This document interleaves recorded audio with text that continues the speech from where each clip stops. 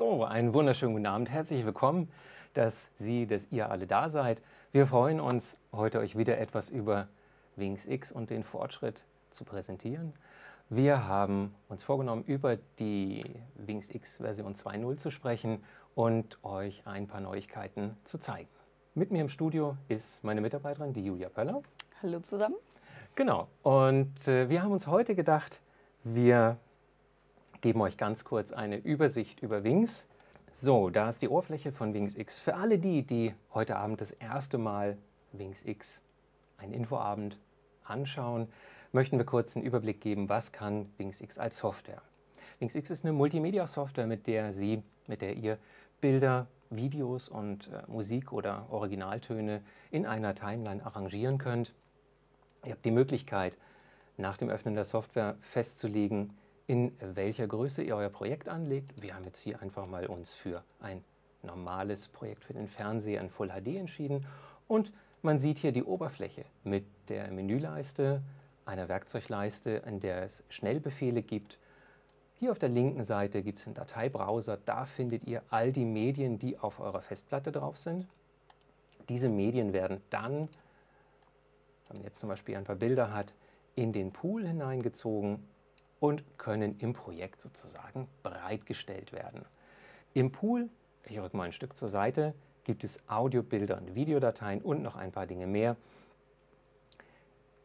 Ein solches Bild kann jetzt direkt in die Timeline gezogen werden und wenn man die Screen aufmacht, dann entsprechend wird es sofort angezeigt. Die Screen ist quasi eure Fläche, die der Beamer oder der Fernseher dann ausgibt. So ein Bild könnt ihr mit dem In-Screen-Editing entsprechend verändern. Das heißt, es gibt eine Möglichkeit, das Bild zu zoomen oder ein wenig die Position zu verändern, sodass man hierbei schön kreativ die Bilder und die Übergänge gestalten kann, Horizonte zum Beispiel aus, gleich ausrichten kann. Solche Dinge kann man damit machen. So gestaltet ihr relativ leicht und in einer einfachen, eingängigen Art und Weise der Bedienung eure Multivisionsschau, eurer Reiseschau oder die Erzählung, die kreative Schau, die ihr eben gestalten wollt. Wings X gibt es in vier verschiedenen Lizenzen. Julia, welche Lizenzen haben wir da? Genau, von Wings X gibt es vier verschiedene Versionsgrößen, angefangen bei der Eco-Version. Das ist die kleinste von allen mit den wenigsten Funktionen. Und dann geht es hoch bis zur Pro-Version. Die hat quasi alle Funktionen, die, sie, die diese Software bietet.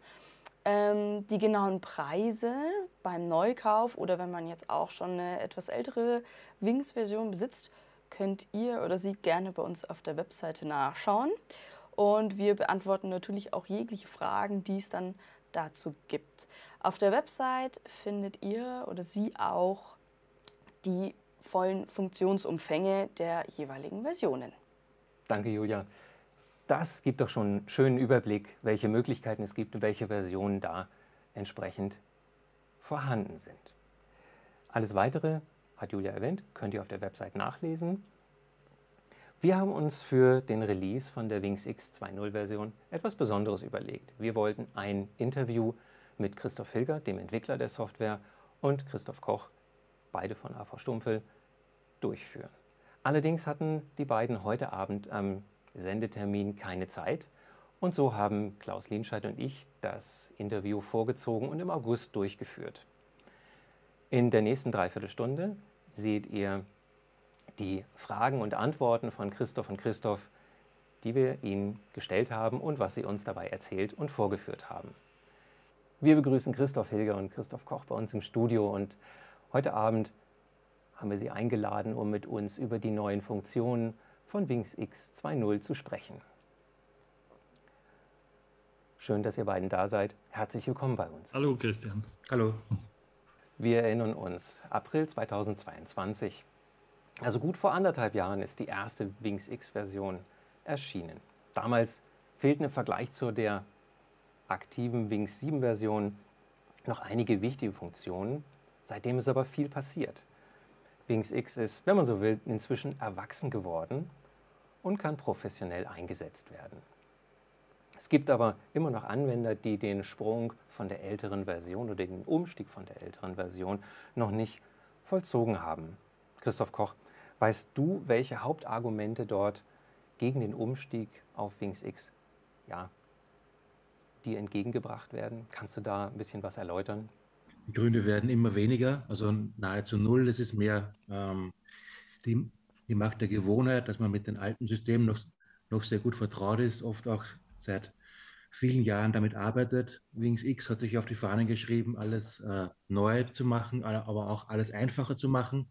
Und da ist aber bei vielen im Kopf noch ein bisschen äh, der Hemmschuh, dass es jetzt doch neu ist. Aber wer dann sich da, darüber traut und sich äh, dem öffnet, der wird schnell sehen, dass wirklich die neuen Funktionen einfacher sind und man dann viel Freude hat in der, in der Praxis mit der Arbeit mit Wings X.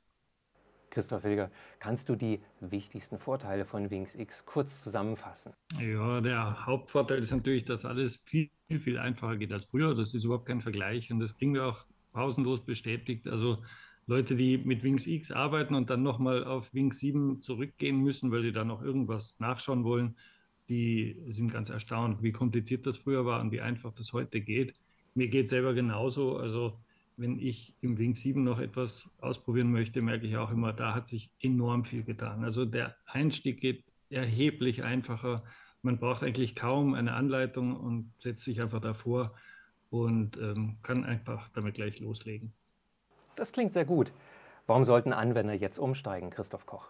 Da redet sich das Ganze so ein bisschen im Kreis, weil es ist wirklich die Einfachheit, was der große Vorteil ist.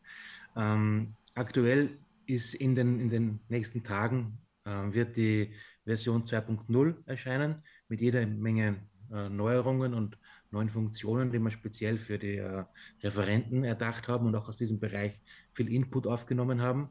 Also das wäre ein guter Zeitpunkt, dass man quasi gleich mit dieser äh, dem neuen Markstein 2.0 einsteigen kann, damit man da gleich viel Spaß hat damit. Kommen wir gleich auf die neue Version 2.0 zu sprechen. Du hast es ja schon erwähnt, Christoph. Da gibt es einige bahnbrechende Features für Vortragsreferenten, also im Bereich Speaker Support. Welche Funktionen sind denn da ganz neu und was ist vielleicht sogar exklusiv in Wings X 2.0? Ja, da hat sich einiges getan und ähm, gerade diese ähm, Funktionen für Vortragsreferenten, die sind völlig exklusiv. Also da gibt es keine einzige, die es in Wings 7 gegeben hat. Und das ist auch jetzt wirklich ein großer Schritt. Deswegen haben wir auch den Versionssprung auf Version 2.0 gemacht weil Wings X jetzt wirklich den Kinderschuhen entwachsen ist und jetzt ganz viele Funktionen daherkommen, die es bisher gar nicht gegeben hat. Also weder in Wings 7 noch in irgendeinem anderen mir bekannten AV-Programm. Und da geht es jetzt wirklich mit großen Schritten weiter und da freuen wir uns sehr drauf. Wir schauen uns das hier nachher noch mal ein bisschen genauer an. Genau. Aber im mhm. Grunde genommen kann man sagen, das, was jetzt kommt in der Version 2.0, ist wirklich ein Alleinstellungsmerkmal. Von ja, absolut. Ja, das kenne ich aus keiner anderen Software. Da sind wir gleich mal gespannt. Ja. Reden wir über die weitere Entwicklung von Wings X. So eine Software ist bekanntlich nie fertig. Das Innovative an Wings X ist ja, dass diese Weiterentwicklung in enger Zusammenarbeit mit der Anwender-Community erfolgt. Magst du uns einen Einblick geben, wie Wings X Anwender konkret Einfluss auf die Entwicklung der Software nehmen können? Ja, das ist ganz einfach eigentlich. Also ich kann jedem nur empfehlen, Forumsteilnehmer zu werden und im WingsX Forum mitzudiskutieren. Das ist einfach der beste Platz, um an der Weiterentwicklung teilzuhaben oder die zu beeinflussen. Und da sind schon etliche Features entstanden, jetzt auch in der neuen Version, in der 2.0er Version, die eben aus diesen Diskussionen entstanden sind. Das Gute ist im Forum halt, ähm, man bringt dort eine Idee ein und dann gibt es aber viele Leute, die mitdiskutieren und das Ganze dann zu einer runden Sache machen. Wenn man einfach nur eine Idee hat und anfängt zu programmieren, hm, dann hat man vielleicht einiges noch nicht bedacht und dann wird die Sache nicht so rund oder man denkt nur in eine Richtung und vergisst vielleicht andere Anwender, die die Funktion etwas anders benutzen würden oder andere Vorstellungen von der Bedienung haben.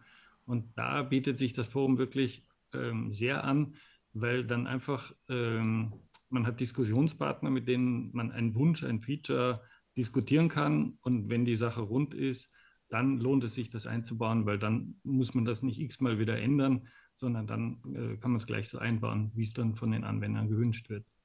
Welche Features kamen denn beispielsweise aus der Community? Kannst du uns da gerade etwas zeigen? Also in der 2.0er Version sind das zum Beispiel die Animationen, die auf Objekte angewendet werden können. Das war ein ganz großer Wunsch von vielen. Wir haben ja bisher die Objekte, also Bilder, Videos, Texte bewegen können, zwar über den äh, Screen von A nach B mit Smart Move, aber im Prinzip war das immer eine mehr oder weniger lineare Bewegung, die vielleicht langsam anfängt und dann sanft abbremst, aber im Prinzip war es einfach eine Bewegung von A nach B. Man konnte keine Kurven fahren, beziehungsweise das wäre unglaublich komplex gewesen. Und ähm, konnte sonst also außer diesem Ken Burns-Effekt zum Beispiel, Kamerafahrten und so weiter, die gingen hervorragend. Aber darüber hinaus waren Anwendungen, äh, wo man zum Beispiel eine Straße entlangfahren möchte oder auf einem Kreis fahren möchte, sowas, die waren nicht möglich. Dafür gab es früher in Wings 7 diese Spline-Funktionen, das ist aber ein Konzept, was mir einfach nicht gefallen hat. Das war eigentlich aus der Not heraus geboren, weil die Splines eher unkontrollierbar sind. Die haben ein Eigenleben, die kann man ganz schlecht unter Kontrolle bringen, weil diese Kurven ja praktisch automatisch erzeugt werden und der Einfluss darauf beschränkt ist. Und auch damit ist es ganz schwierig, irgendwo präzise herumzufahren. Also man kann zwar einen Kreis fahren, aber jetzt irgendeiner Linie, einer Straße oder ähnlichem nachfahren ist damit so gut wie ausgeschlossen. Und deswegen hat mir dieses Blind-Feature eigentlich nicht zugesagt. Und ich wollte es auch gar nicht mehr einbauen, obwohl viele gefragt haben. Und dann haben wir gleich eine völlig neue Lösung entwickelt. Die ist eben aus diesen Forumsbeiträgen geboren. Die haben wir dann auch intern ähm, weiter diskutiert, natürlich, ähm, gerade im engeren Kreis der Alpha-Tester. Und dann haben wir sie implementiert. Und jetzt, glaube ich, ist sie wirklich ein absolutes Top-Feature geworden. Ich zeige mal dieses ähm, Feature dieser Objektanimation im Screen, damit man mal sehen kann, wie das funktioniert. Ähm, ich fange mal an mit einer normalen Animation. Ich nehme dazu mal diese Islandkarte da, stelle die in den Screen, ähm, erstelle einfach irgendeine Routenanimation. Machen wir den Screen auf, dass man sehen kann, was da passiert. Äh, die muss natürlich oben drüber. Ähm, da fügen wir jetzt einfach mal ein paar Punkte hinzu, dass die Animation einfach von irgendwo nach irgendwo läuft. Ich verkürze sie etwas, dass sie etwas schneller läuft und dann lassen wir die einfach mal ablaufen. Dann passiert das. Also das ist so, wie eine Animation bisher schon funktioniert hat. Und ähm, diesen Pfad, den die Animation fährt, der wird halt momentan durch eine Linie dargestellt, Linie mit Pfeilspitze oder einem Symbol vorne. Aber es gibt keine Möglichkeit, zum Beispiel ein Bild entlang dieser Linie zu bewegen. Ähm, es haben sich ganz viele zum Beispiel gewünscht, dass sie ihr eigenes Auto auf so einer Linie fahren können. Also nicht nur so ein Symbol von einem Auto, sondern wirklich ihr eigenes, also ein Foto von ihrem eigenen Auto vielleicht freigestellt. Und das kann man jetzt machen, indem man eben die Animation auf Bilder anwendet. Ich zeige das jetzt mal. Ich nehme jetzt mal ein Bild von einem Flugzeug. So, das da setze das da oben drüber, ist noch viel zu groß. Das machen wir mal deutlich kleiner. Ich, ist vielleicht ein bisschen übertrieben groß, aber so kann man es gut erkennen. Und was ich jetzt machen kann, ich kann diese Animation nehmen von gerade. Die befindet sich da unter dem Screen da vorne und ziehe die auf dieses Flugzeugbild drauf. Und was jetzt passiert ist, es entsteht keine Linie im Screen, sondern das Flugzeug fliegt praktisch genau diese Linie, die wir vorher gezeichnet haben, lang. Also wenn das jetzt eine Straße wäre im, in diesem Islandbild, da ist jetzt kein, aber wenn da jetzt eine Linie wäre, könnte man auf dieser entlang fliegen oder mit einem Auto eben fahren. Das sieht jetzt mit dem Flugzeug ein bisschen komisch aus, weil ein Flugzeug fliegt selten immer mit der Nase in eine Richtung und deswegen gibt es die Möglichkeit bei den ähm, Objektoptionen zu sagen, man möchte den Winkel von der Animation übernehmen und dann schaut das Ganze so aus dann fliegt das Flugzeug praktisch auf dieser Linie entlang.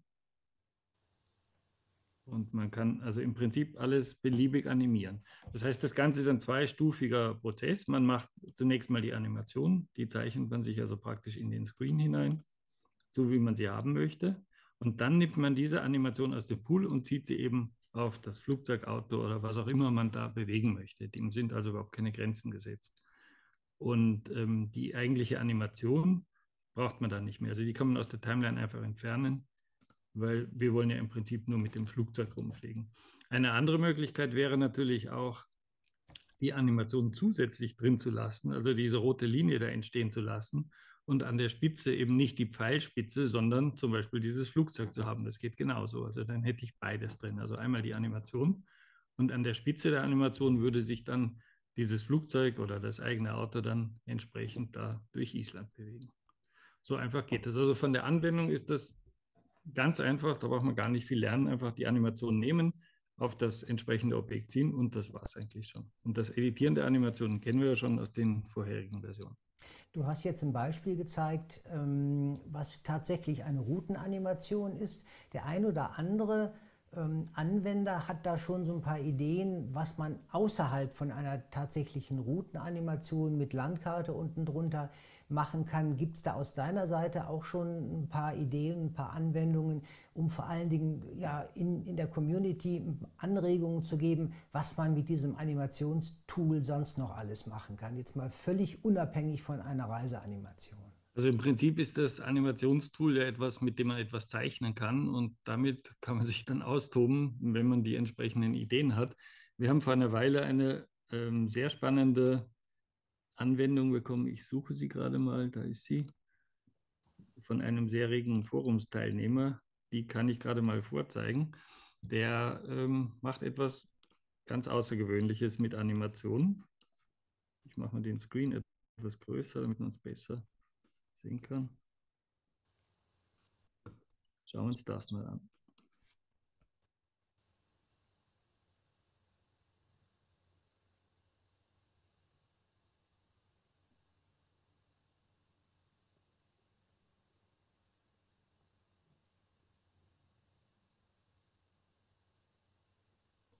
So, das war auch eine Animation, eben ganz anders. Also keine Routenanimation, sondern ähm, es wurden halt die Buchstaben animiert und dann nachher die ganze Geschichte unterschrieben mit dem Vornamen und dann noch so ein Smiley, der dann äh, zwinkert und die Augen dann von rechts nach links wechselt. Also eine ganz spannende Geschichte und all das kann man mit diesen Animationen genauso machen. Also der Fantasie sind da überhaupt keine Grenzen gesetzt. Der Klassiker mit der Reiseroute ist wirklich nur der Anfang von dem, was man damit machen kann. Hast du da vielleicht noch ein anderes Anwendungsbeispiel, wofür ich diesen Bewegungspfad verwenden kann, jetzt ähm, abgesehen von der Routenanimation?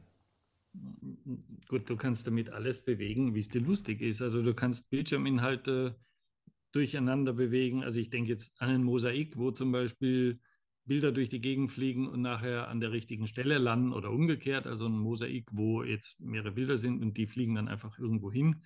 Ähm, wie Blätter zum Beispiel im Wind oder sowas. Also Möglichkeiten gibt es da unendlich viele. Also es erweitert einfach dieses Bewegungsrepertoire von einfachen linearen Bewegungen auf völlig beliebige Bewegungen irgendwo hin.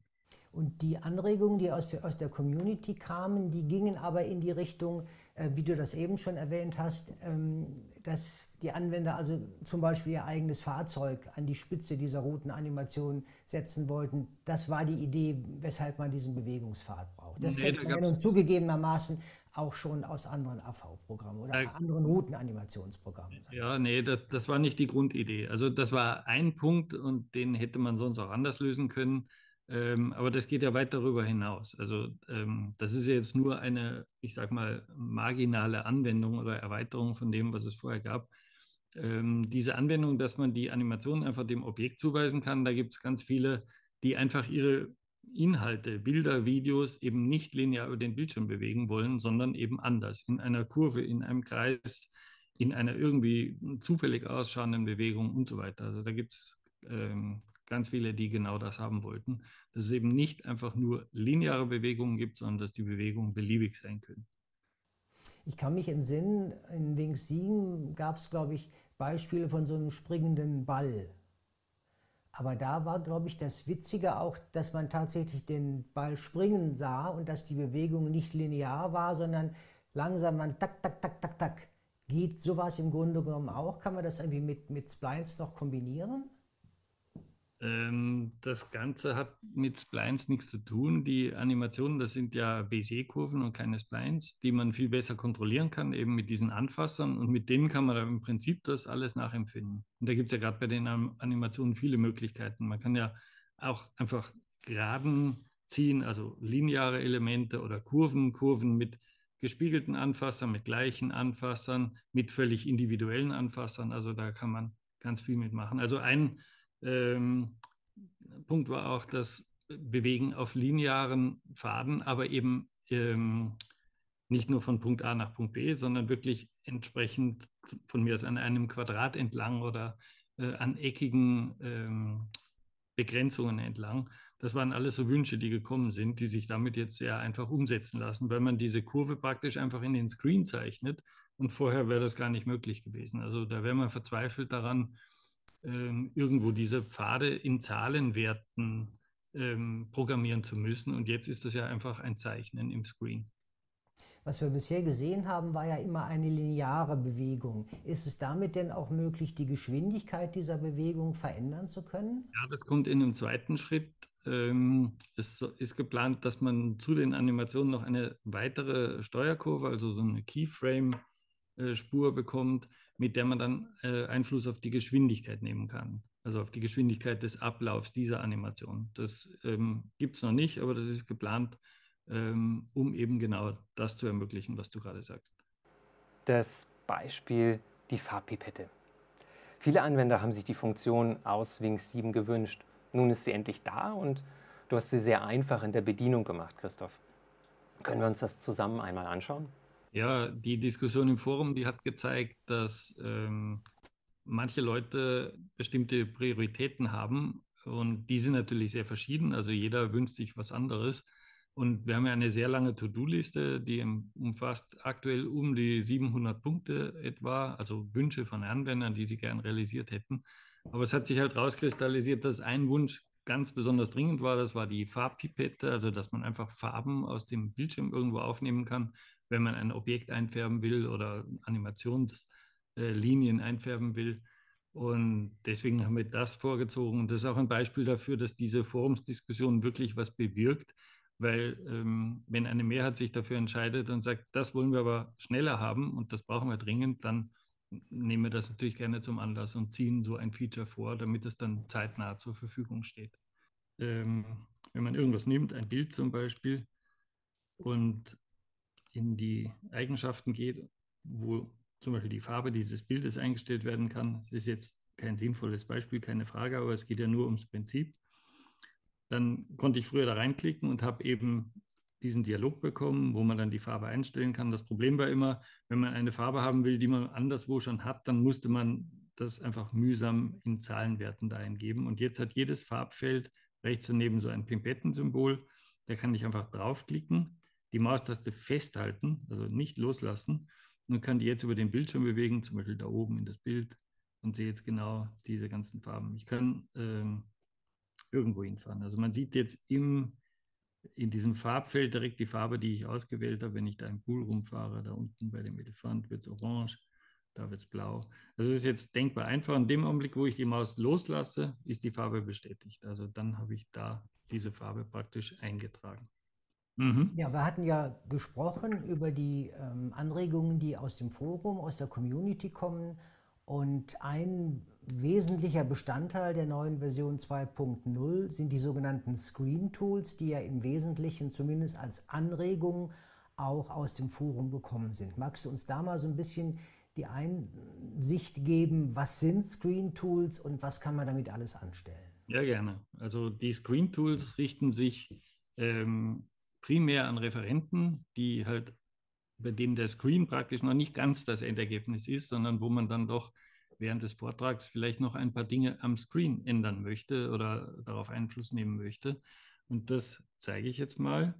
Ähm, wir haben die Screen Tools hier unten in einem extra Tabreiter neben Protokoll, Audiopegel gibt es jetzt einen weiteren Tabreiter, der heißt Screen Tools und da sind diese Tools enthalten. Ich stelle jetzt nicht alles vor, aber die wichtigsten Dinge kann ich mal kurz äh, zeigen. die Eigenschaften, da steht einfach nur, wie groß der Screen ist, weil man das sonst nur in den Einstellungen des Programms sieht. Also das ist nur eine Info, damit man schnell mal sieht, ah ja, das war mein Screen, das ist die Größe von meinem Screen. Dann haben wir als nächsten Punkt, der ist ganz oft gewünscht worden, ein globales Schärfen. Ich nehme jetzt mal irgendein Bild, aber ich fürchte, dass man das jetzt in diesem Recording nicht wirklich erkennen kann. Also wenn, dann muss man da hinten auf diese Bäume schauen zum Beispiel. Ähm, da sieht man vielleicht am ehesten, dass sich an der Schärfe was ändert. Das Problem ist, wenn einem der Content speziell von Videos zu unscharf ist oder auch von Bildern, ähm, musste man bisher einfach einen Effekt auf jedes Bild, auf jedes Video geben, die Schärfe entsprechend einstellen. Das war natürlich sehr mühsam und nicht sehr komfortabel. Und deswegen gibt es jetzt eine viel, viel einfache Möglichkeit. Man kann einfach den gesamten Screen schärfen. Also das, was hinten rauskommt aus dem Wings, ist praktisch nochmal mit einem Schärfeeffekt belegbar. Und den kann ich da in diesen Screen Tools einfach einstellen, indem ich einfach diesen Schieberegler ziehe. Und ähm, wenn man genau hinschaut, müsste man eigentlich erkennen können, dass das Ergebnis deutlich knackiger und schärfer wird. Ähm, diese ganze Schärfung von diesen ganzen einzelnen Elementen kann man sich damit schenken und ersetzt das einfach durch die Schärfung des Screens ähm, und muss dann vielleicht nur noch in ganz speziellen Einzelfällen, also wenn ein Bild nicht ganz scharf fotografiert wurde, ähm, etc., noch nachhelfen. Aber im Allgemeinen ist damit das gesamte Thema Schärfen abgehakt, indem man einfach den Screen entsprechend schärft. Darf ich da mal ganz kurz reingrätschen? Mhm, ja. Du hast mhm. eben gesagt, ähm, dass das Schärfen besonders bei Videos interessant ist. Das ist mhm. auf jeden Fall nachvollziehbar. Wenn ich aber jetzt dieses Screen Tool schärfen nehme, werden doch meine Fotos auch nachgeschärft. Ja, du solltest die Fotos ja sowieso nicht ähm, unglaublich geschärft ins Wings reingeben. Das war früher so und das ist heute nicht anders, weil die Bilder ja skaliert werden müssen, um in optimaler Auflösung auf dem Screen zu erscheinen. Deswegen macht es keinen Sinn, sehr stark geschärfte Bilder in Wings reinzugeben, außer in ganz bestimmten Sonderfällen, wenn etwas genau pixelgenau repräsentiert werden soll. Aber in allen normalen Fällen, wo es einfach um normale Bilder geht, äh, macht es keinen Sinn, äh, Bilder zu sehr zu schärfen. Wie du schon sagst, ist das für die Videos wichtig, aber für die Bilder letzten Endes genauso, weil die Bilder eben nicht final geschärft ins Wings rein sollen. Und ähm, von daher bietet sich das für beides gleichermaßen an. Um das mal konkret zu machen, weil sich natürlich jetzt viele fragen, ja, was heißt denn das moderat schärfen? Ähm, viele Leute arbeiten ja mit Lightroom und da gibt es ja die Option Schärfen für Bildschirm Standard. Ist genau. das so das, was du empfehlen würdest oder noch weniger? Also maximal, also mehr auf keinen Fall. Also ich würde tendenziell eher weniger nehmen und die Schärfung dann im Wings machen. Und ähm, speziell, wenn man das mit Video kombiniert, tut man sich natürlich keinen Gefallen, wenn man die Bilder viel schärfer macht als die Videos. Also von daher ist das so die Obergrenze von dem, was ich nehmen würde. Dann schauen wir mal weiter. Es gibt einen weiteren Punkt, ähm, auf den will ich jetzt nicht näher eingehen. Ich kann den Screen auch einfärben. Das ist vielleicht ein Sonderfall. Also ich kann jetzt da hergehen und den Screen beliebig einfärben. Das ist wirklich nur was für Spezialfälle, wenn ähm, der Beamer zum Beispiel irgendein Defekt hat, man irgendeinen Beamer verwendet, der uralt ist und ein total grünes Bild hat, dann kann man da entsprechend gegensteuern. Man kann sogar Color Gradings, also Lookup Tables in den Screen ziehen, ähm, um beliebig komplexe Fehler eines Beamers zu korrigieren. Das würde aber zu weit führen jetzt. Ich könnte allerdings mit so einem Color Table, äh, Color Grading zum Beispiel die ganze Ausgabe einfach auch in Schwarz-Weiß haben können. Also wenn ich aus irgendeinem Grund meine Show in Schwarz-Weiß zeigen will, ist das mit einem Color Grading mit einem Mausklick erledigt. Aber wie gesagt, das sind Spezialfälle, äh, das kann man sich dann in Ruhe anschauen. Der Christoph Koch hat dazu auch Tutorial-Videos erstellt, wo man sich das dann anschauen kann. Es gibt einen weiteren sehr spannenden Punkt, der ist brandneu. Das ist der Punkt Spotlight. Das ist ein ganz spannender Punkt und zwar ist der Ansatz, dass der Laserpointer ersetzt werden soll. Der Laserpointer, den man normalerweise verwendet bei einer Präsentation, das ist ja ein Notbehelf. Das ist ein winzig kleiner roter Punkt. Vielleicht sieht man ihn gar nicht, wenn man auf die falsche Stelle von der großen Leinwand schaut. Man zittert meistens, das Ding wackelt da so rum und das ist in meinen Augen überhaupt nicht mehr zeitgemäß. Dafür haben wir jetzt dieses Spotlight erfunden. Da gibt es verschiedene Modi. Der ähm, Modus deaktiviert ist der Standard natürlich. Und dann gibt es zwei Modi. Das eine ist Suchscheinwerfer und das andere ist Bühnenscheinwerfer. Und das zeige ich jetzt mal eben. Also der, der Klassiker ist der Suchscheinwerfer. Der Bühnenscheinwerfer ist eher ein Spezialfall, der auch ähm, auf dem Wunsch eines Anwenders basierend äh, dann da implementiert wurde. Aber bleiben wir mal bei dem Suchscheinwerfer. Und man hat es gerade schon kurz gesehen, in dem Augenblick, wo ich das angewählt habe, ist auf dem Screen so, ein, so eine Lupe erschienen. Ich ändere jetzt mal die Parameter, also ich ändere mal die Größe und jetzt sieht man schon, was da passiert. Und die Transparenz kann ich auch ändern. Also ich kann jetzt einstellen, um wie viel der Rest abgedunkelt wird und ähm, also sprich, in diesem Suchscheinwerfer bleibt der Content ganz normal, also man sieht die normale Helligkeit und rundherum kann man jetzt wählen, wird das sehr stark abgedunkelt, sodass man praktisch gar nichts mehr sieht oder weniger abgedunkelt, sodass es nur etwas hervorgehoben wird. Ich belasse das jetzt mal bei den Standardwerten. Und was man jetzt machen kann, äh, das Ganze funktioniert nur bei der Präsentation. Das kann man nicht im Stand ausprobieren. Also ich starte einfach mal die Präsentation, bleibt im Pausemodus stehen. Also im Pausemodus geht es natürlich genauso und ähm, kann jetzt durch einen Doppelklick mit der Maus einfach diesen Suchscheinwerfer praktisch aktivieren und auf irgendwelche Dinge hinweisen. Ich kann sogar mit dem Mausrad das Ganze größer und kleiner machen, während ich da zeige. Und ähm, kann so sehr komfortabel, ohne mit einem zittrigen Laserpointer herumfahren zu müssen und sehr offensichtlich. Also das sieht jeder sofort, wo ich hinzeige, weil ja der Rest des Screens dunkel wird ähm, sehr komfortabel und gut sichtbar für alle Zuschauer eben Dinge erklären, hervorheben und so weiter. Und mit einem weiteren Doppelklick verschwindet das wieder und ich kann ganz normal in der Show wieder weiterfahren. Der andere Punkt, das ist der Bühnenscheinwerfer. Mag jetzt vielleicht etwas absurd klingen. Ich verstelle das mal, damit man sieht, was passiert. Es gibt einen hellen Fleck und normalerweise macht man den sogar ganz hell, also komplett weiß den man dann verschieben kann. Die Funktionsweise ist die gleiche, also ich starte die Show und kann jetzt diesen hellen Fleck da hin und her schieben. Das macht jetzt zunächst mal gar keinen Sinn, aber das ist für eine ganz bestimmte Anwendung. Und zwar gibt es Referenten, die stehen vor der Leinwand, meistens vor einer sehr großen Leinwand, stehen jetzt unten vor der Leinwand und möchten, dass sie heller sind als der Rest. Also dass sie nicht im Bild untergehen, sondern dass sie praktisch in einem weißen Lichtkegel stehen. Und das kann man ganz einfach mit dem Beamer erreichen, indem man den an dieser Stelle eben weiß macht. Also das ist vielleicht ein Sonderfall, aber für die Leute, die gern vor der Leinwand stehen und sich dann in Teilen der Show einfach in einem Lichtkegel sehen wollen, weil sie gerade reden oder das Publikum ansprechen, ist das eine äußerst einfache Möglichkeit. Dann braucht man noch nicht mal Scheinwerfer aufbauen, sondern es geht ganz einfach mit dieser Funktion in Wings. Diese ganze Thematik, das würde aber jetzt hier auch zu weit führen, also Suchscheinwerfer, Bühnenscheinwerfer und so weiter. Das ist auch alles mit Triggern steuerbar. Also ich kann das auch ähm, gesteuert in meiner Präsentation einbauen, sodass zu einer bestimmten Stelle ein Suchscheinwerfer oder eben dieser Bühnenscheinwerfer anscheinend ganz viel mir beliebt. Und ähm, ein weiteres Thema ist noch, der Christoph hat da so einen Logitech-Präsenter liegen. Das funktioniert auch mit diesem ähm, Logitech Spotlight, heißt er, glaube ich. Genau. Ähm, da funktioniert das genauso. Also ich kann mit diesem Logitech Spotlight diesen Scheinwerfer über den Screen steuern. Das heißt, ich muss nicht am Computer stehen und die Maus bedienen.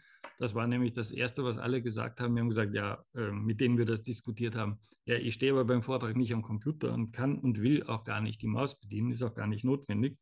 Ich kann diesen Spotlight nehmen, mache einen Doppelklick drauf und habe dann im Prinzip das gleiche wie ein Laserpointer in der Hand, kann mit dem Spotlight einfach über den Screen fahren, mache nochmal einen Klick auf diese Taste da drauf und dann ist er wieder weg. Das heißt, von der Handhabung ist das ident mit einem Laserpointer. Ich brauche mich um nichts kümmern, habe diesen Spotlight in der Hosentasche, kann damit zeigen, was ich will und genauso diesen Pointer auch wieder beenden. Nächstes Thema ähm, ist die Geometrie. Das ist auch ein Thema, was ganz viele Referenten haben ähm, wenn man irgendwo hinkommt, seinen Beamer aufbaut oder den Saalbeamer nimmt, die Leinwand aufstellt, das Bild passt zwar irgendwie auf die Leinwand, aber meistens nicht ganz genau. Der Beamer steht ein bisschen schief und das Ganze ist, ist irgendwie verzerrt und so weiter. Man kann jetzt mit dem Beamer versuchen, das zu lösen, also mit dieser Keystone-Korrektur, aber es weiß jeder, dass die Qualität davon meistens grottenschlecht ist. Also es schaut fürchterlich aus, das Bild. Und außerdem kann man es nicht gescheit einrichten. Das ist eine sehr mühsame Geschichte. Das geht im Wings X mit den Screen Tools jetzt extrem einfach. Ich kann da unten bei Geometrie einfach sagen, Anpassung aktivieren. Und jetzt kann ich einfach, ich muss jetzt eine etwas ungewöhnliche Tastenkombination drücken, nämlich Shift, Alt und ähm, Control oder Shift, Option, Command auf dem Mac. Das haben wir extra so gemacht, dass man drei Tasten drücken muss, dass es nicht äh, von alleine aus Versehen verstellt wird. Und kann jetzt einfach die Ecken von dem Screen nehmen und die irgendwo hinziehen. Das geht in hervorragender Qualität, viel besser als jedes Keystoning von irgendeinem Projektor. Und kann das jetzt, macht jetzt natürlich hier auf dem Screen keinen Sinn, aber auf dem Projektor, auf der Leinwand macht das jetzt den Sinn. Das heißt, ich mache das Bild etwas größer auf der Leinwand, als ich es tatsächlich brauche und nehme dann einfach die Ecken und ziehe sie genau auf die Ecken der Leinwand im Saal. Das heißt, das Bild auf der Leinwand wird praktisch exakt in die Ecken von der Leinwand hinein gezerrt, wenn man so will, so dass man ein perfektes Bild hat. Aber wie gesagt, das muss man dann auf dem Beamer anschauen. Hier auf dem Screen, auf dem Monitor des Computers macht das natürlich keinen Sinn, aber auf, dem, ähm, auf der Leinwand, die von einem Beamer, äh, wo der Beamer drauf projiziert, macht das extrem viel Sinn, weil man in 0, nix das Ganze eingestellt hat. Das geht sogar bei laufender Show. Ich kann also, während die Show läuft, diese Ecken da justieren. Also wenn irgendwas passiert in der Pause, stolpert jemand über die Leinwand oder irgendwas anderes passiert oder es ist eine Open-Air-Veranstaltung, wo das alles eh ein bisschen schwindlig ist, von der Stabilität, dann kann man das jederzeit einfach nachkontrollieren, auch ohne die Show verlassen zu müssen. Das ist auch eins dieser Screen Tool Features, die ähm, so auch in Wings 7 nicht gegeben hat. Das waren so die wichtigsten Punkte zu den Screen Tools. Es gibt zu allem auch Videos. Ähm, der Christoph Koch hat Tutorial-Videos dazu gemacht, wo man sich mal anschauen kann, wie das dann funktioniert, um dann die ersten Schritte damit zu machen extrem coole Beispiele. Vielen Dank. Ich nehme mal an, diese Screen-Anpassung ist sicherlich auch ein Alleinstellungsmerkmal von WingsX. Ich glaube auch. Und dieses Spotlight habe ich auch noch nirgendwo gesehen und den Bühnenscheinwerfer auch nicht. Vor allen Dingen die Bedienbarkeit. Also dieses Spotlight einfach wie ein Laserpointer. Also der, für den Referenten ist das überhaupt kein Unterschied. Der nimmt nur dieses Logitech Spotlight-Ding anstatt eines Laserpointers und los geht's. Das habe ich vorhin noch nicht gesagt. Ähm, was man auch noch machen kann, wenn man möchte, also wenn man so eine Farbkorrektur, Schärfe oder Geometriekorrektur braucht, aus welchem Grund auch immer, zum Beispiel für eine Fixinstallation, wo so etwas dann als Video ausgegeben wird. Wenn ich ein Video ausgebe, kann ich sogar die Screen Tools auf den Export anwenden. Also ich kann alles, was wir gerade gesehen haben, ähm, der Suchscheinwerfer macht natürlich keinen Sinn, aber diese Geometrie oder die Schärfe oder die Farbanpassung ins Video reinrechnen, sodass das dann das Video praktisch genau dem entspricht, was man so auch auf dem ähm, Screen dann sehen würde.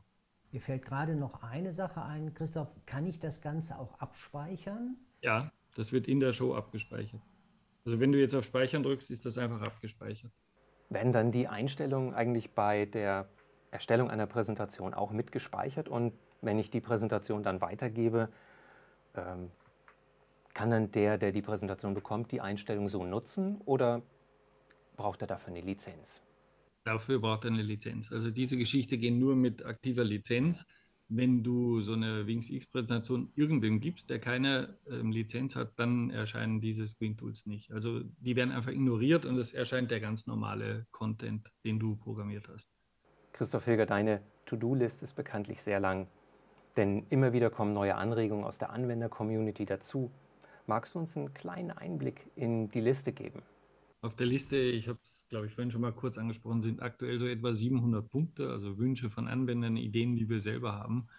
Ähm, und die Liste ist einfach hochdynamisch. Also es macht da gar keinen Sinn, die Liste anzuschauen, um zu schauen, was steht da vielleicht an oberster Stelle, äh, weil sich diese Prioritäten ständig ändern. Also es passieren immer wieder Dinge, ähm, wie zum Beispiel diese Pipette, die dann ganz besonders gewünscht wird, die wird dann einfach irgendwo dazwischen geschoben und dann schneller realisiert.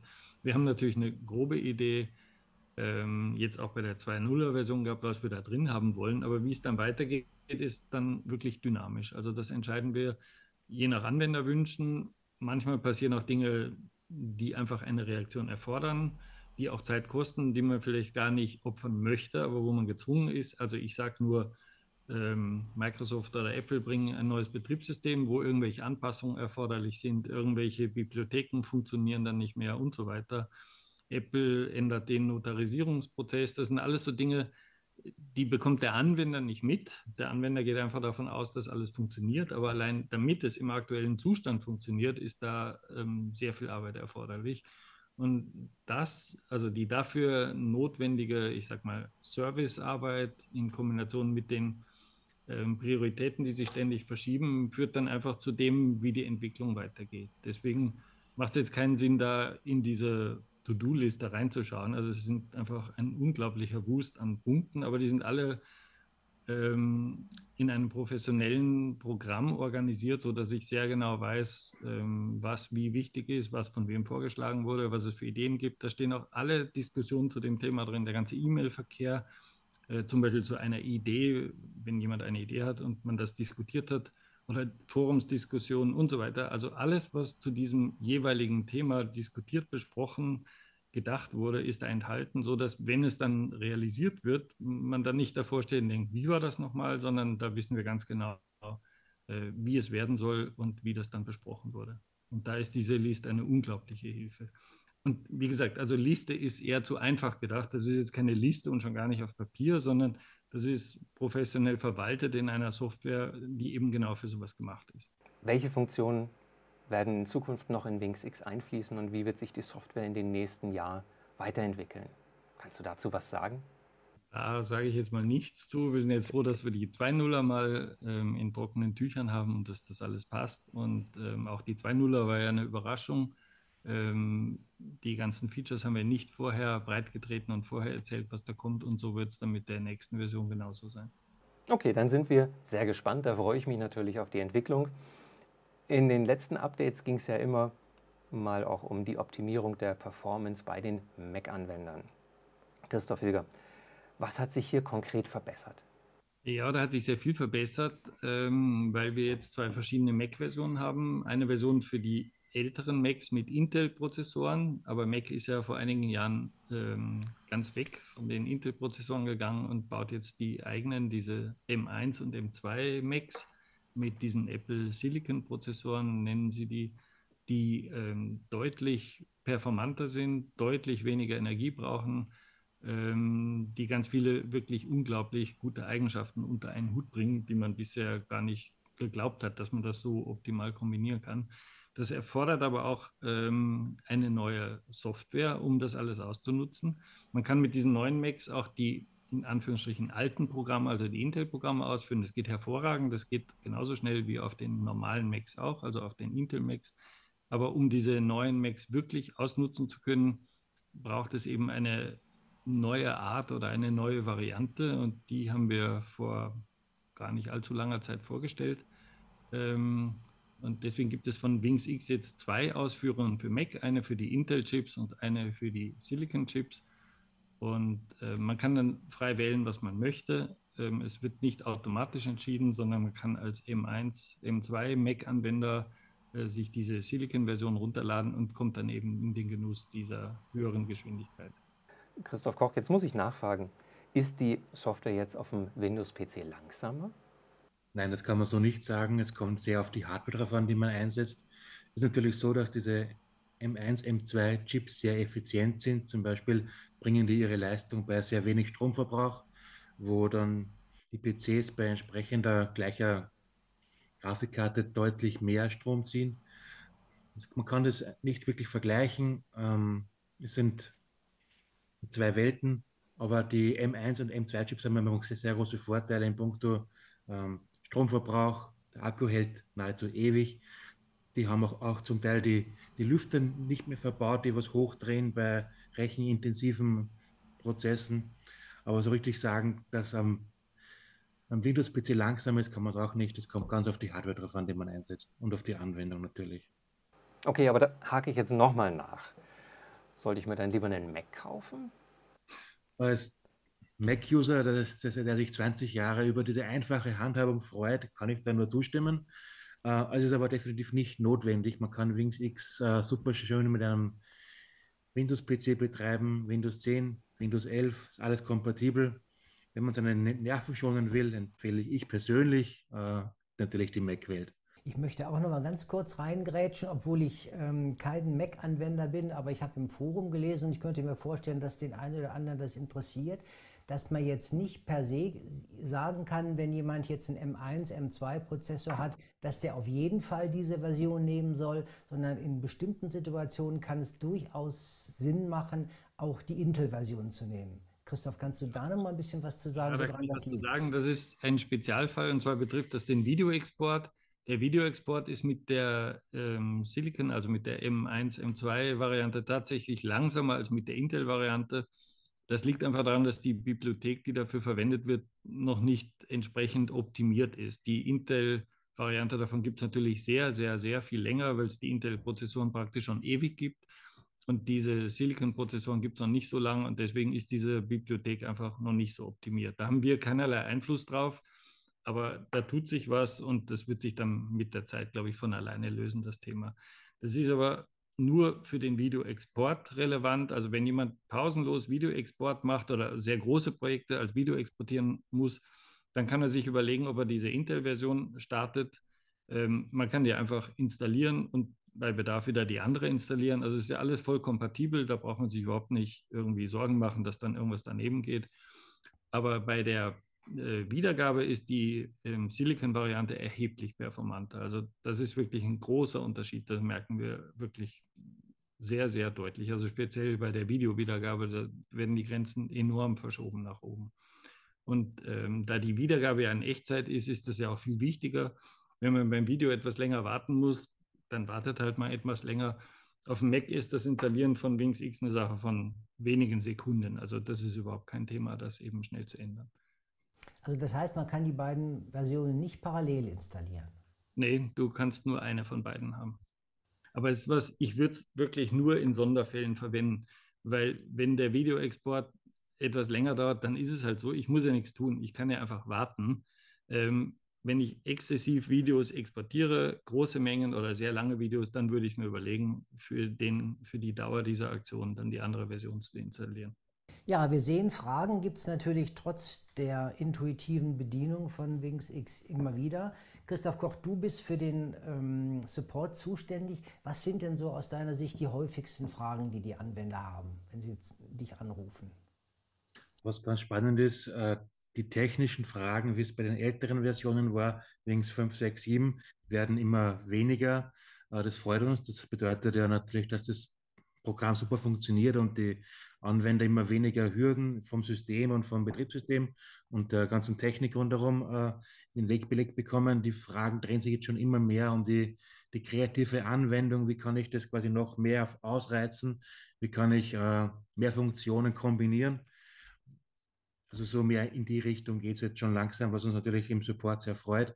Müssen sich nicht mehr mit Grafikkarten, Treiber, Updates und so weiter herumschlagen. Es geht jetzt mehr wirklich ums Arbeiten mit Wings. Das heißt, du bist auch so ein bisschen Kreativberater. Ich bemühe mich, ja.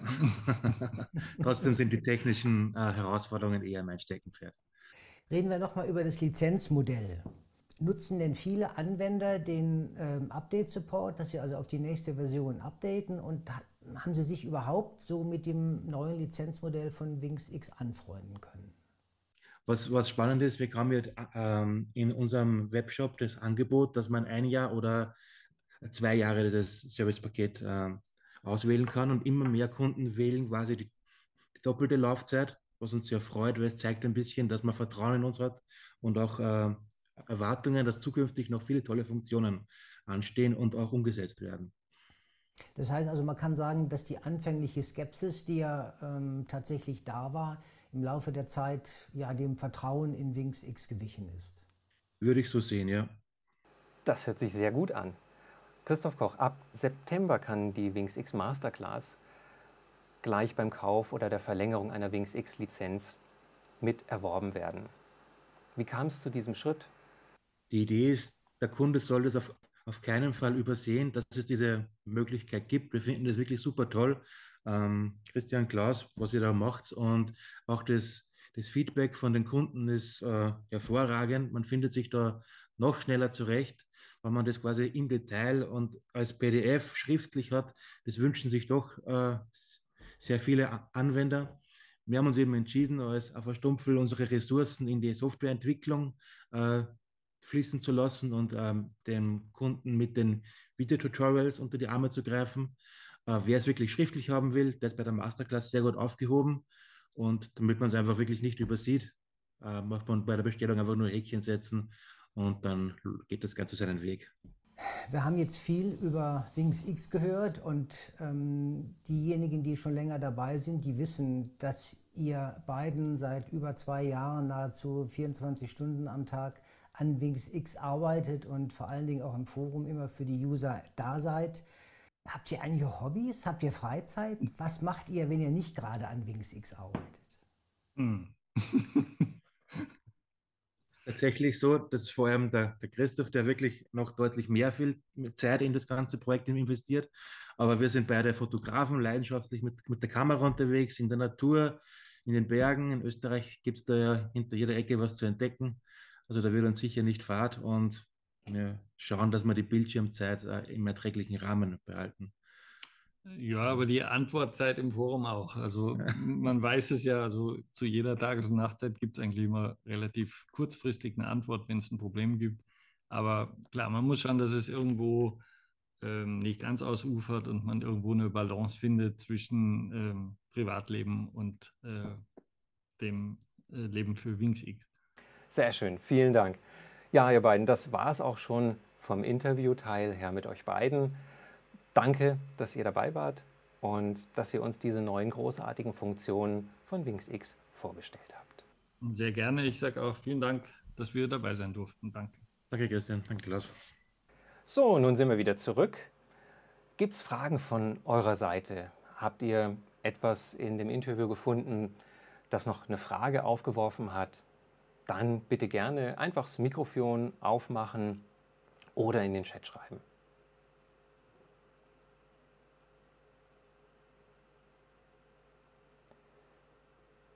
Oh, das ist recht still. Oh, im Chat. Julia, da ist eine Frage im Chat. Kannst Sicher. du die vorlesen? Ja, wir haben hier eine Frage und die lautet, kann man das neue Schärfen auf bestimmte Spuren anwenden, um so zwischen Fotos und Videos zu unterscheiden? Ähm, nein, kann man nicht. Das Tool heißt ja globale Schärfen und das wird quasi auf alles draufgelegt. Also das wird auf den Screen angewendet. Ähm, wenn man jetzt seine Bilder oder Videos einzeln nachschärfen möchte, stehen hierfür die Echtzeiteffekte zur Verfügung.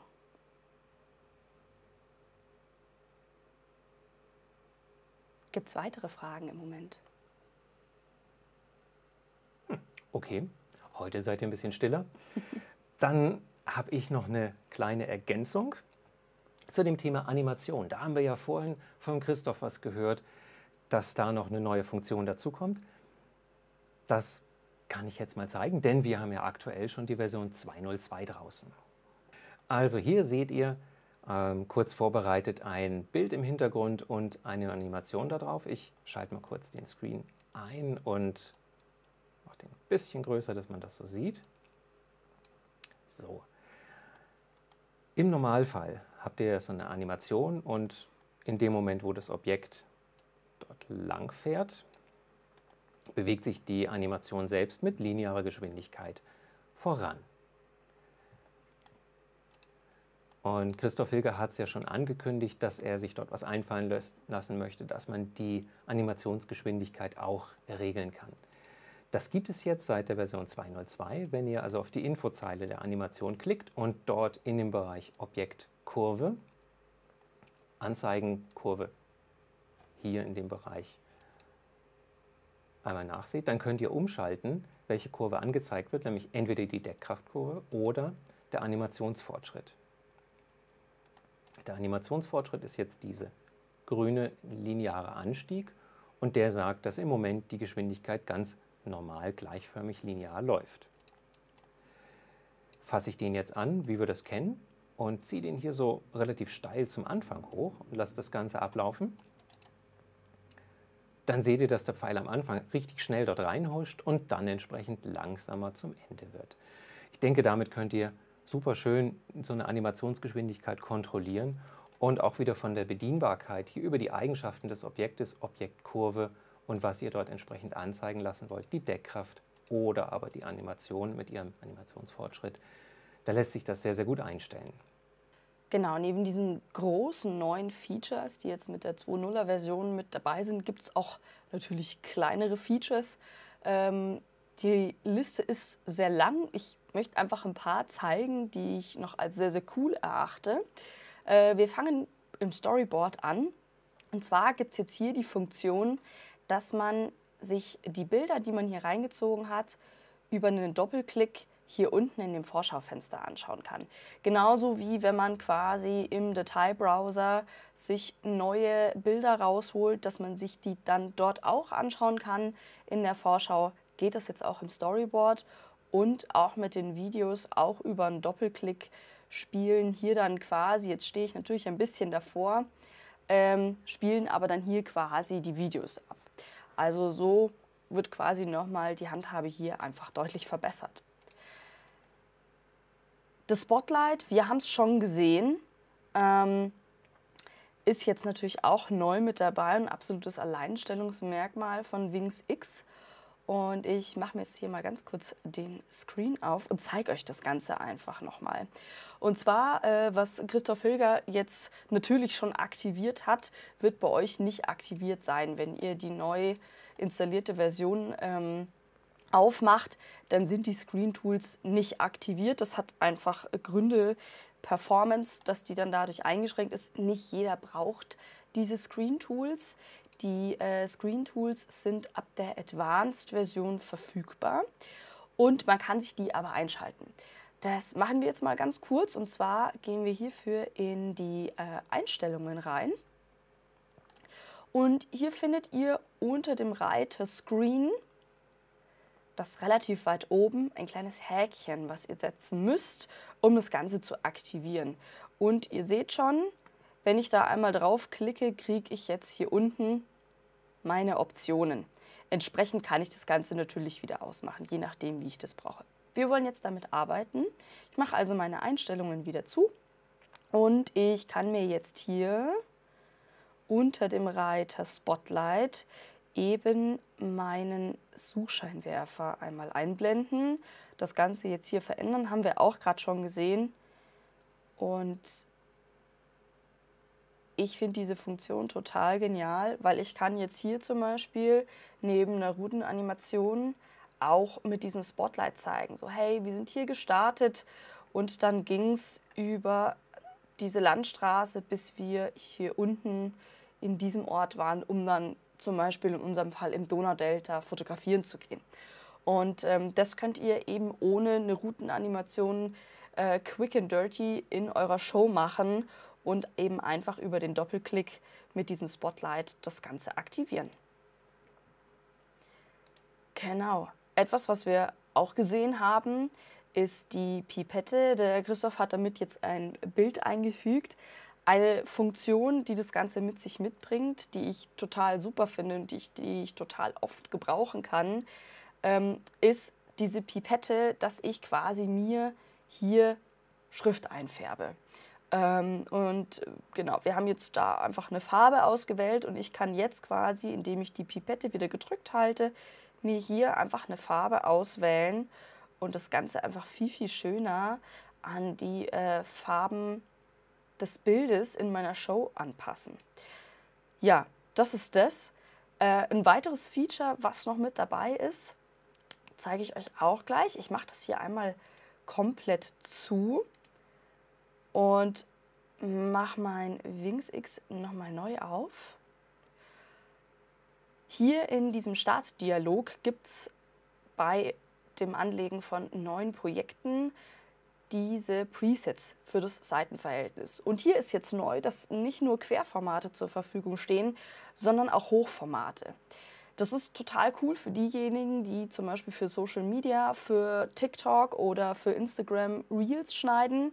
Da gibt es jetzt hier Hochformat-Presets oder auch quadratisch, auch für Instagram ein gängiges Format und kann hier total schnell einfach ausgewählt werden und man muss hier nicht quasi mit den Pixeln ähm, ja, die Pixel eingeben und mit den Pixelart rangieren an der Stelle.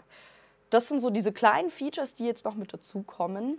Und ähm, genau, auch Fragen gerne nochmal in den Chat reinstellen, aber das wäre es von meiner Seite. Ja, super. das klingt doch recht spannend. Ähm, ich habe auch noch zwei kleine Funktionen, die ich noch vorstellen möchte. Ähm, dazu schauen wir nochmal in das Wings X rein. So, und zwar haben wir hier unsere Oberfläche. Ich habe da drei Bilder reingelegt, einfach nur damit ein bisschen was in der Timeline drin ist. Jetzt hatten wir ja von den Screen Tools gehört. Die hat der Christoph Hilger uns groß vorgestellt. Julia hat jetzt noch zwei, drei Kniffe dazu erwähnt. Und das Schicke an der ganzen Sache ist, dass man die natürlich beim Export, zum Beispiel von einer Videodatei, wenn ich hier auf Export Video erstellen gehe, auch mit exportieren kann. Das heißt, hier habe ich ein Häkchen und wenn ich das einschalte, dann werden meine Schärfeeinstellungen, die Farbe oder das Color Grading, was ich dem äh, über die Screen Tools meiner Screen-Ausgabe sozusagen mitgegeben habe, auch bei der Berechnung des Videos entsprechend mit einberechnet.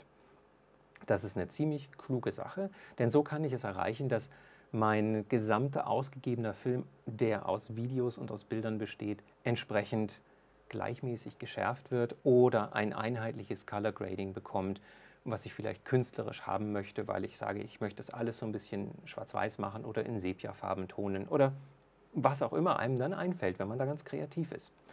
Dieses Häkchen gibt es natürlich nicht nur beim Video-Export, sondern auch, wenn ich das Ganze als Bildsequenz ausgebe.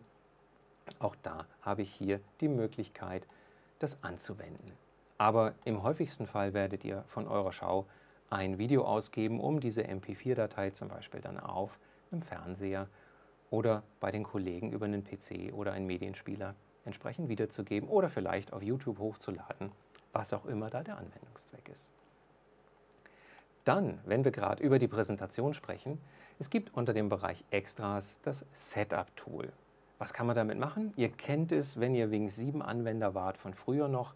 Dort kann man den Projektor korrekt einrichten. Etwas ganz Wichtiges ist ja immer, dass wir wirklich den vollständigen Bereich des Projektors auch auf dem Beamer, also den vollständigen Bereich der Screen auf der Projektion ausgeben. Deswegen hat das Testbild eine weiße Linie außen drumherum, die man hier sieht und Pfeilspitzen. Hier erkennt ihr sofort, wenn euer Projektor zum Beispiel so einen TV-Rand wegschneidet. Das machen manche Geräte, wenn sie so in der Standard-Grundeinstellung sind. Und dann wäre der Pfeil hier so ein Stückchen gekürzt und das würde dann ja eben ein Stück eures Bildes abschneiden. Ihr könnt hier beim Setup-Tool den Modus Projektor einrichten, Projektor scharf stellen mit diesen feinen Linien oder eine sogenannte 1 zu 1 Darstellung, das heißt also, wie exakt werden die Pixel wirklich dargestellt, auswählen und einstellen. Ähm, das Aussehen des Testbildes könnt ihr entsprechend konfigurieren, also wie viele horizontale und vertikale Linien, welche Hintergrundfarbe soll es da geben, ähm, so dass es dann auch am besten für euch passt. So, auf Beenden kommt man wieder zurück zur Wings-Oberfläche. Okay, dann haben wir für heute eigentlich soweit alle Punkte, die wir uns vorgenommen haben, besprochen. Im Chat sind keine weiteren Fragen mehr aufgetaucht.